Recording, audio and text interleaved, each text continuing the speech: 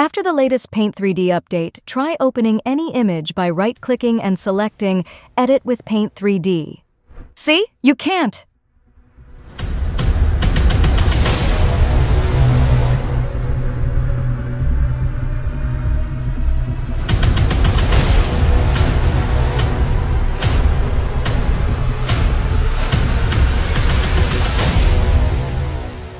This video will show you how to fix the issue with images not opening in Paint 3D from the Open in Paint 3D option in the right-click drop-down menu with the recent 2024 June update.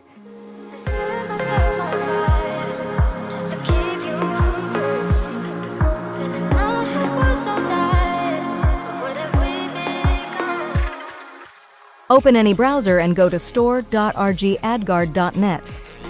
Copy and paste this link here. Then click the symbol here. Wait for the page to load. After the page has loaded with a list, search for Microsoft.mspaint underscore 2023.2310.24037.0 ending with .appx bundle.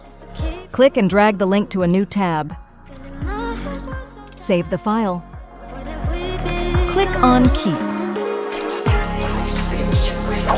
After the download is complete, double-click the file to open.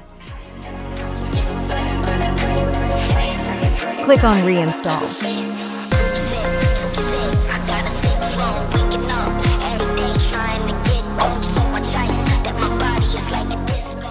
Now try opening any image. It works, finally!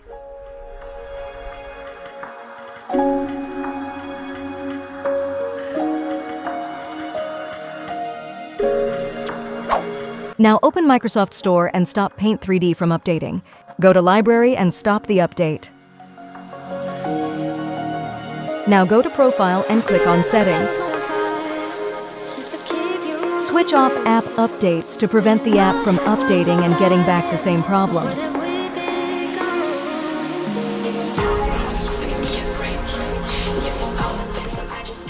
Open Telegram and search for this link or directly open Telegram through this link. Click here and download the .rar file.